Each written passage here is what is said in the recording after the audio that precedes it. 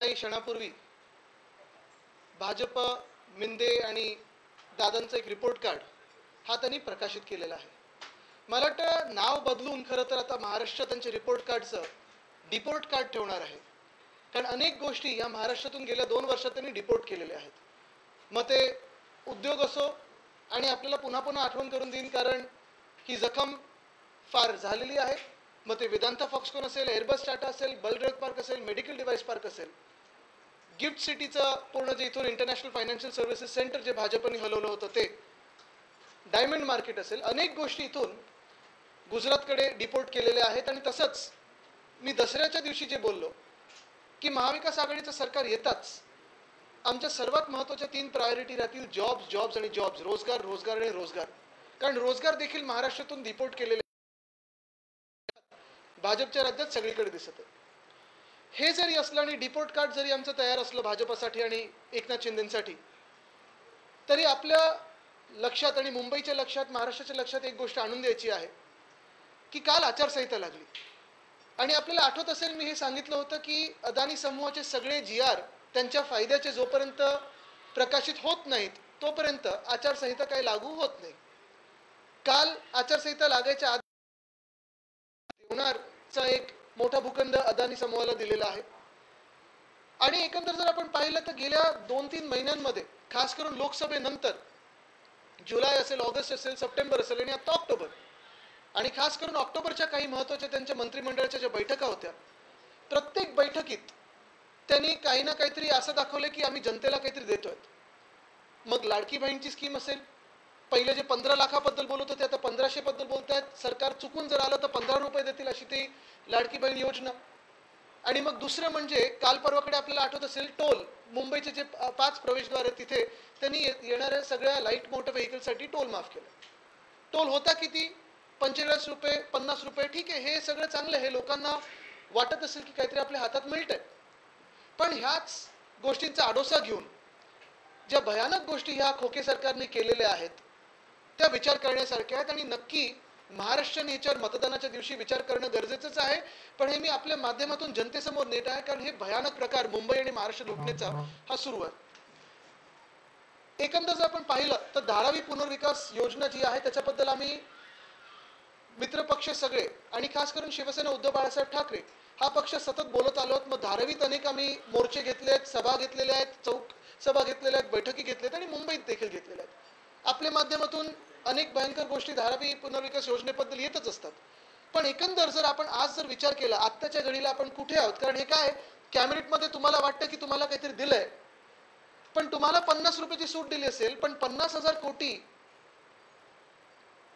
चा फायदा हा अदानी समूहाला त्याच वेळी दिलेला होता. आता तुम्ही बघा धारावी एकंदर जर पाहायला गेलं तर तीनशे एकरमध्ये धाना धारावी चे झोपडपट्टी आहे आणि ज्या काही मायक्रो इंडस्ट्रीज आहेत ते आहेत. ते तीनशे एकर रिडेव्हलप करायला पूर्ण जो भूखंड धारावीमध्ये घेतला गेला आहे मग टाटा पॉवर रिसिव्हिंग स्टेशन असेल माहीम नेचर पार्क असेल रेल्वेची जमीन असेल एकत्र करून तो आहे पाचशे चाळीस एकर. त्याच सोबत जेव्हा टेंडर झालं सगळं काही झालं एका अदानी समूहाला ते टेंडर मिळालं पुनर्विकासाचं त्यानंतर ह्या सरकारने किंवा ह्या राजवटीने एकनाथ शिंदेनी काय काय त्यांना दिले ह्या मुंबईमध्ये आणि ती फुकट सवलती तर वेगळ्या म्हणजे सवलतीमध्ये काय? टी डी आर चाळीस पहिले टक्के हे अदानी ठरवणार. मग एफ एस आय त्यांना जे ठरवायचं ते. स्टेअरकेस प्रीमियम माफ हा प्रीमियम माफ तो प्रीमियम माफ हे तर दिलंच सगळ्या सवलती. पण जे मुंबईत भूखंड तुमचे आमचे मुंबईची जमीन ही त्यांना फुकटात दिली आहे. ती अशी आहे कुर्ल्यामध्ये एकवीस एकर. मुलुंड भांडूप आणि कांजूरमार्ग जर एकत्र केलं तर दोनशे पंचावन्न एकर मडमध्ये एकशे चाळीस एकर. आणि परवाकडे जो दिलेला आहे भूखंड तो देवनारचा आहे तो एकशे चोवीस एकर आहे.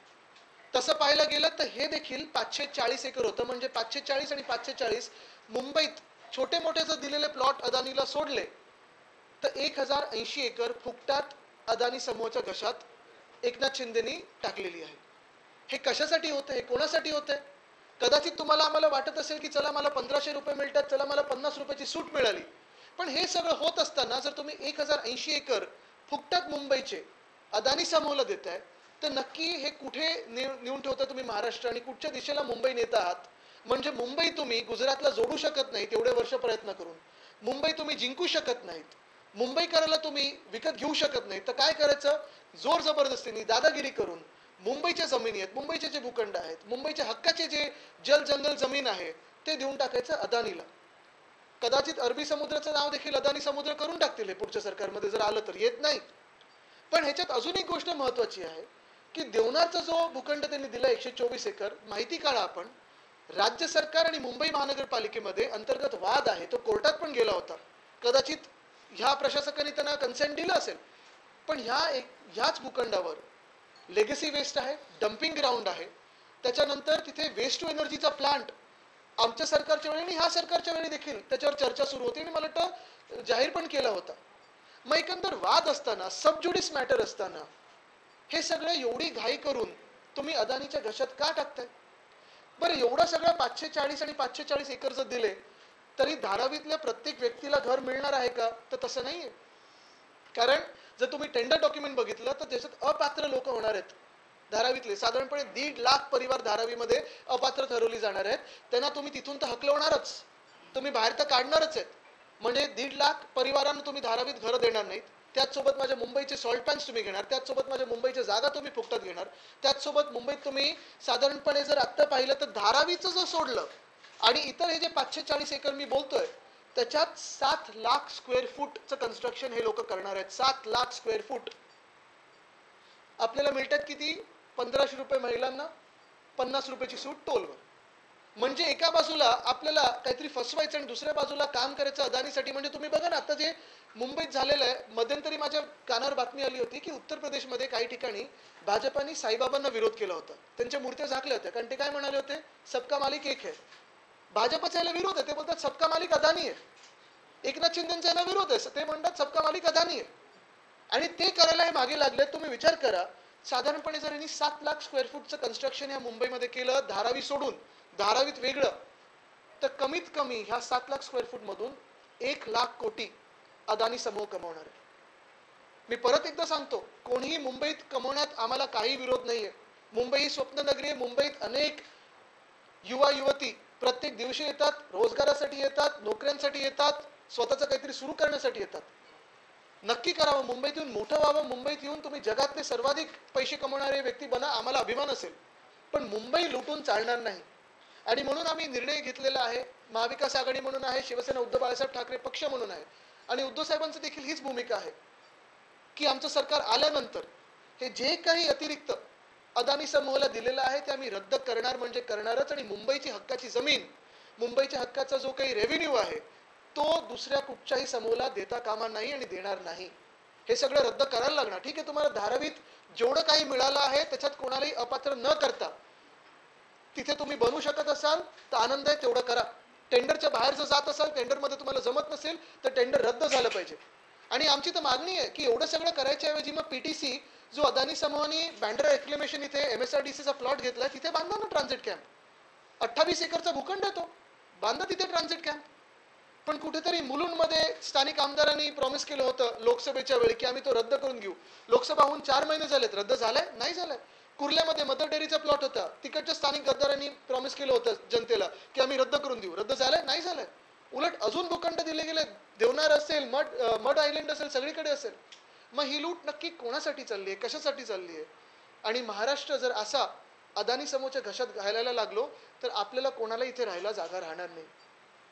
जे कोणी स्वतःला मुंबईकर समजतात जे कोणी स्वाभिमानी मुंबईकर असतील जे कोणी महाराष्ट्रात या देशाचे नागरिक म्हणून राहतात आणि या देशाचे टॅक्स भरतात किंवा त्यांना वाटतं की या देशाला देशाची प्रगती झाली पाहिजे त्यांनी देखील हा विचार केला पाहिजे की आज जसं महाराष्ट्राला लुटलं जात आहे ह्याच्यात देशाची प्रगती आहे की अदानी समूहाची प्रगती हे विचार करून मला वाटतं पुढची पावलं आपण टाकली पाहिजे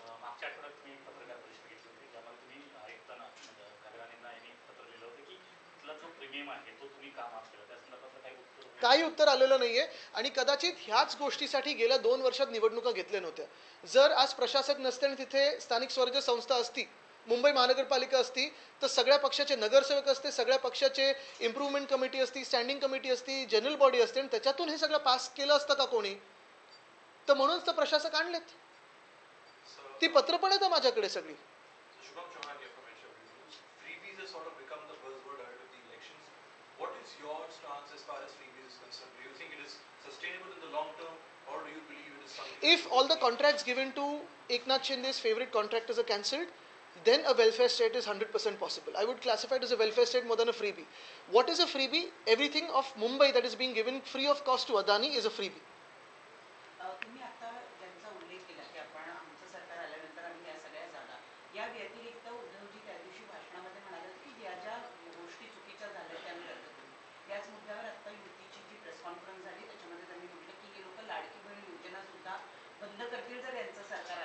आमचं नाव भाजप नाही आहे आम्ही सांगितलेलं आहे की लाडकी बहीण आम्ही वाढीव देऊ आणि सुरक्षित बहीण देखील आणू. ह्याच भाजपनी स्वतःचे जे काही बलात्कारी लोक आहेत अनेक लोक ज्यांनी महिलांवर अत्याचार केले मग ते आपटे ते शाळेचे संस्थाचालक असतील किंवा अनेक लोक असतील त्यांना वाचवण्यासाठी शक्ती कायदा आमच्या महाराष्ट्रात येऊ दिला नाही. पाठवलाय राष्ट्रपती महोदयांकडे चार वर्षापासून प्रलंबित आहे. आणि हे सगळं जे भाजपला दीड हजार रुपये असेल किंवा पन्नास रुपयाचं टोल असेल ते आत्ता गेल्या दोन चार महिन्यांमध्ये आठवलं नाही तर गेल्या एका महिन्यात आठवलेलं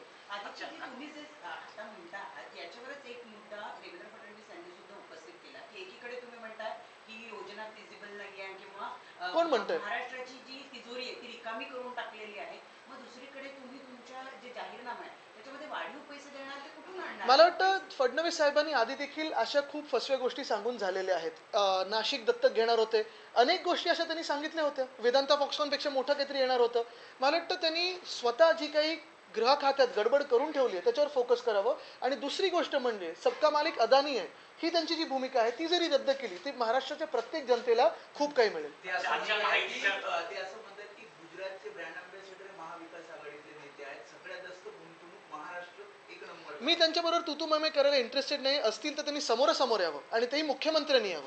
पण महत्त्वाची गोष्ट एकच आहे की आज जे काही मी बोलत आहे हे खरं आहे की नाही? हे सरकारी जी मध्ये आहे की नाही? आणि हे त्यांनी खोडून का नाही काढलं जर मी खोटं बोलत असेल तर?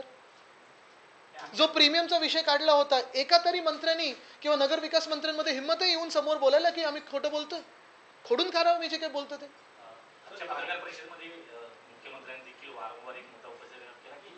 सरकार हे स्थगिती सरकार होतं मेट्रो असू दे ज्या सरकारबद्दल ते बोलतात निर्लज्जपणे त्याच्यात ते अडीच वर्ष मंत्री होते. नगरविकास खातं होतं.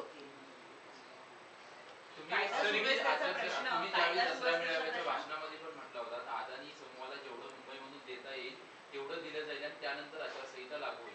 आता आचारसंहिता लागू झाली तुम्हाला वाटतं अदानी समूहाला सर्व काही आता देऊन झालं हे तर दिलेलंच आहे सगळं काही. सात लाख स्क्वेअर फूटचं कन्स्ट्रक्शन एक लाख कोटी ह्याच्यातून कमवतील धारावीतून वेगळं.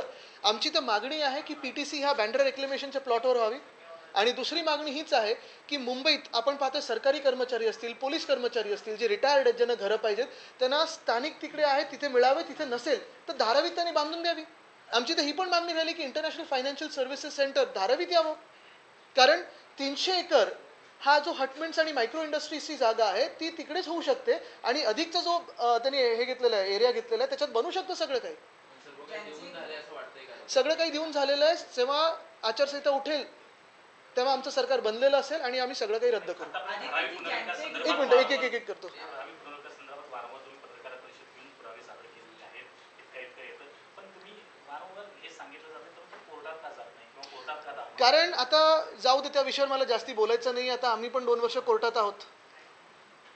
काल आचारसंहिता लागलेली आहे.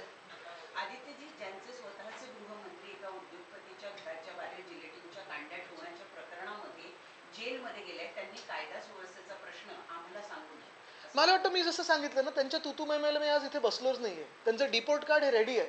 मुख्य गोष्ट हीच आहे की आज जे मी काही बोलत आहे अदानी समूहाबद्दल ते फार महत्वाचं आणि तुम्हाला हे परत एकदा सांगतो मी. येत्या वीस दिवसामध्ये जेव्हा निवडणुका आहेत तेव्हा प्रत्येक गोष्टींवर हे वाद करण्याचा प्रयत्न करणार जाती जातीमध्ये असेल धर्माधर्मामध्ये असेल जिल्ह्यामध्ये असेल किंवा हाऊसिंग सोसायटीमध्ये पण वाद निर्माण करण्याचा प्रयत्न करतील. कारण भाजपची पॉलिसी आहे डिवाइड अँड रूल आणि एकदा ते झालं की सगळं जे काही आहे, जल जंगल जमीन समुद्र पण हे अदानीच्या घशात घालतील?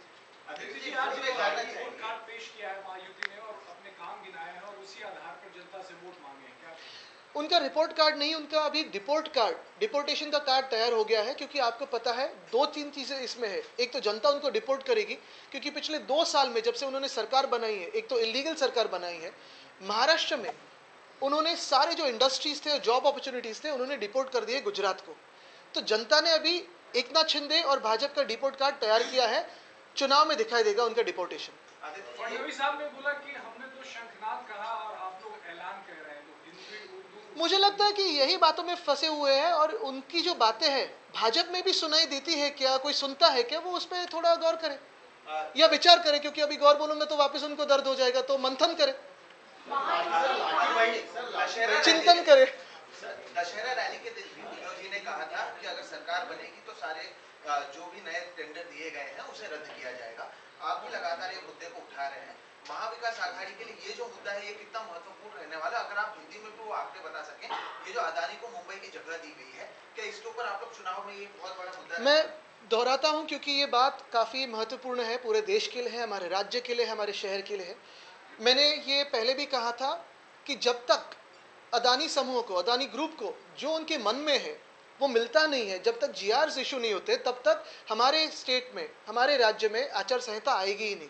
और वैसे ही हुआ अभी तक अगर आपने देखा होगा तो हर एक कैबिनेट के बैठक में बहुत सारे निर्णय ऐसे लिए गए हैं, किसी को कुछ महामंडल बना के दिया है, किसी को कुछ और बना के दिया है, जनता को बनाने की बात चल रही है, लेकिन उसी के कवर में, उसी के शील्ड में अगर आप देखें तो अदानी समूह को बहुत सारी चीज़ें दी है।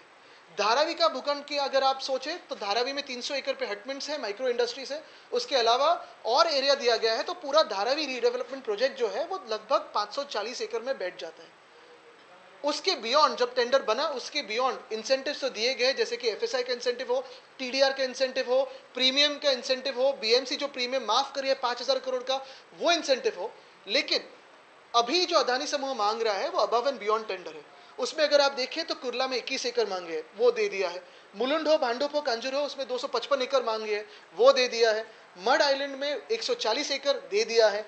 देवनार में 124 एकड़ जो सबजुडिस है, जो मामला कलेक्टर और बीएमसी का डिस्प्यूट है, वो भी बिना पूछे दे दिया है। यानी अगर आप देखें तो इसमें भाजपा हो एक नाथ शिंदे हो, उनकी भूमिका एक ही है, सबका मालिक अदानी।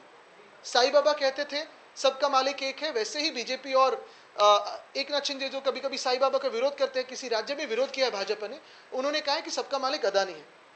धारावी के 540 एकड़ और ये जो अन्य मुंबई के 540 एकड़ अगर आप एक साथ करें तो 1080 एकड़ इतनी सारी जगह फ्री ऑफ़ कॉस्ट अदानी को दे दी है। क्यों? ताकि धारावी में रीडेवलपमेंट हो और उसी धारावी में लगभग डेढ़ लाख फैमिलीज़ को ये इनएलिजिबल ठहराएँगे। उनको घर नहीं देंगे। उनको बाहर किसी दूसरे एक तो हाउसिंग में जाओ या फिर हम जो बना रहे हैं वहाँ रेंटल पे आओ या फिर वहाँ कंस्ट्रक्शन कॉस्ट पे खरीदो। अच्छा बात ये होती है कि 540 एकड़ जो धारावी की सेवा दिए हैं अलग दिए हैं उस 540 एकड़ में लगभग सात लाख स्क्वायर फुट इतना कंस्ट्रक्शन हो सकता है और उसी से एक लाख करोड़ तक ये पैसे कमा सकते हैं। कोई पैसे कमाए कोई बड़ा हो जाए कोई दुनिया में सबसे अमीर बन जाए कोई तर, कोई कुछ भी तरक्की करे कोई हमें दिक्कत नहीं है। लेकिन मुंबई को लूट के नहीं होना चाहिए और इसे हमारा विरोध है। हम यही बात कहना चाहते हैं कि जब हमारी सरकार बनेगी एक महीने में तो ये सारे जो incentives above and beyond tender है वो तो हम कैंसिल करेंगे। आरटीआय में ये पता चला। कॉन्ट्रॅक्ट रद्द करायचं बोलतोय आपण पण मात्र ज्यांना कॉन्ट्रॅक्ट दिले त्यांना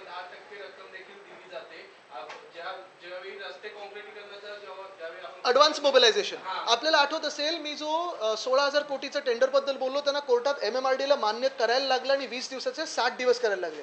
दुसरा कॉन्ट्रॅक्ट जो दिलाय त्यांनी सेंट लुशिया मधली बँक आहे जरा माहिती काढ. त्या बँकला आरबीआयची मान्यता प्राप्त आहे का? पण हे आपले जनतेचे पैसे भलत्या बँकेच्या गॅरंटीवर त्यांनी देऊन ठेवलेत. हेच मी सांगतोय की आमचं सरकार आल्यानंतर एम एम आर डी असो बी एम सी असो पी एम आर डी असो नाशिक असो नागपूर असो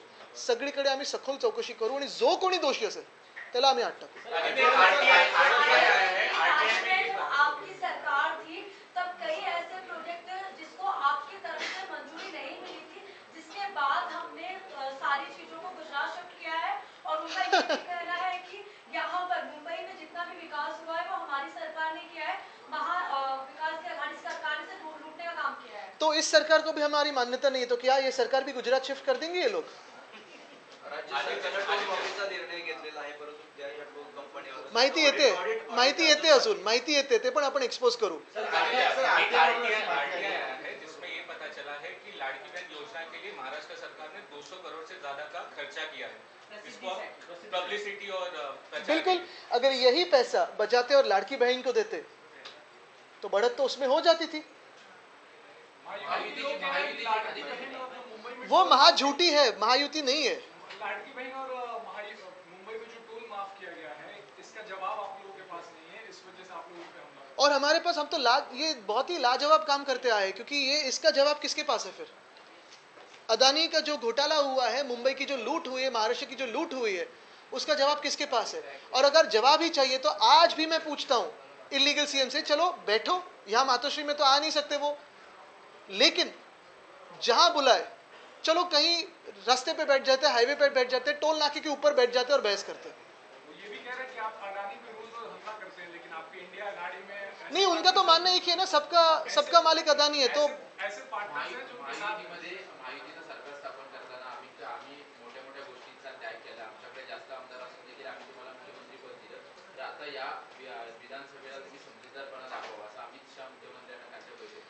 मला वाटतं हे त्यांचा अंतर्गत वाद आहे. त्यांच्याकडून मुख्यमंत्र्यांचा चेहरा कोण? कारण काही काही लोक लाडकी बहीणच्या समोर मुख्यमंत्री पण हल्ली लावत नाहीत तर एकमेकांचे ते खरोखर लाडके आहेत का? आणि आत्ता एवढी भांडणं आहेत तुम्ही बघा नंतर किती भांडणं होती ठीक आहे मला वाटतं एक महत्त्वाचं परत एकदा मी सगळ्यांना हेच सांगतो की आपण पण हे जी काही लूट होते मुंबईची त्रयस्थपणे विचार करावा.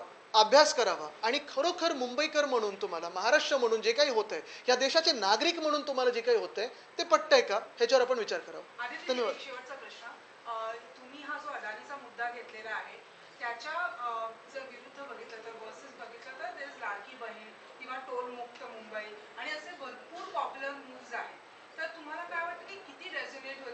मला वाटतं? मला वाटतं आपल्याला माहिती आहे टोलचा तर आता मागे निर्णय होणारच आम्ही रद्द करणार म्हणजे फिरवणार नाही जसं आहे तसं आहे बरोबर आहे पण दुसरी गोष्ट लाडकी बहीणला आम्ही वाढीव देऊ जो खर्च यांनी सगळा ॲडव्हर्टाईजमध्ये केला आहे स्वतःचा चेहरा सगळीकडे पेस करण्यात केलेला आहे तिथून असेल यांचे लाडके कॉन्ट्रॅक्टर्स आहे तिथून पैसा वळवता येईल इथे आपण पाहतोय ही जी लूट चालली आहे ही काही महिलांना दीड हजार रुपये देण्यासाठी नाही चालली. ही काही टोल माफ केली म्हणून नाही चालली. ही लूट जी आहे जे बँका हे रिकामं करतात जे तिजोरे रिकामं करतायत ती एवढ्यासाठीच चालली आहे कारण ह्यांचे जे आवडते कॉन्ट्रॅक्टर्स आहेत त्यांच्या खिशात पैसे जावे ज्याच्यातून ह्यांचे खोके भरतात. ह्यांची लूट एवढ्यासाठीच चालली की ह्यांचे जे मालक आहेत भाजप आणि एकनाथ शिंदेचे अदानी त्यांच्या खिशात पैसे जावे त्याच्यामुळे ह्यांना पैसे मिळतात. कदाचित ही सगळी जागा घेऊन उद्या अदानी समूहाने मॉर्गेज केली कुठच्या तरी जागतिक लोनच्या विरुद्ध तर? शक्यता आहे? काही होऊ शकतं. तर मुद्दा हा आहे की आपण आपल्या मुंबईची जमीन कितपत सोडायची? आणि ह्या काही ज्या काही स्कीम्स असतात काही काही स्कीम्स ह्या निरंतर चालू राहतात. मग लाडकी बहीण असेल टोल माफी असेल ह्या सा- चालू राहणार. पण हे सगळं त्यांना आत्ता का ठेवलं दोन वर्षापासून सरकार आहे ना मग टोल माफी आधी का नाही केली? दोन वर्षापासून सरकार आहे ना मग लाडकी बहीण तेव्हा का नाही दिलं? पंधरा लाख देणार होते ते पंधराशे बद्दल आले बोलायला लागलेत. आणि असं बोलतायत जसं काही उपकार करतात. मिळाले पैसे मिळाले मिळाले काय करणार? त्याच्यातून तुम्ही विचार करा आज जी महागाई आहे. त्याच्या विरुद्ध किती पैसे मिळतात? टोलमाफीविषयी निवेदन देताना त्यांनी म्हटलं होतं की दोन हजार सत्तावीस पर्यंत टोलमाफी देणं शक्य नाही कारण की आर्थिक बोजा जास्त आहे. आता तुम्ही त्यांचेच स्टेटमेंट आमच्यात असताना आणि त्यांच्यात गेल्यानंतर हे किती पात्री नाटक होऊ शकेल हे तुम्ही ठरवा. तुमचं चलो.